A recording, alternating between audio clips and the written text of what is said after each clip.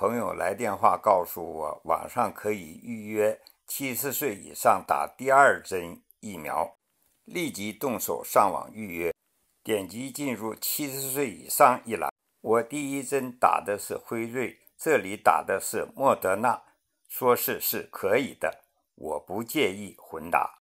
很快就注册完毕，并拿到了注册证书。打针的地点是一个露天足球场。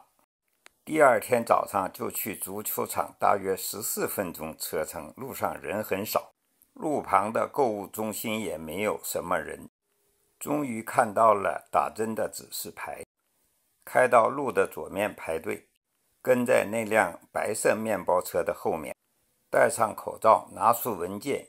一切准备就绪，可是我被告知政府做出决定，今天不能混打了，只好掉头回家。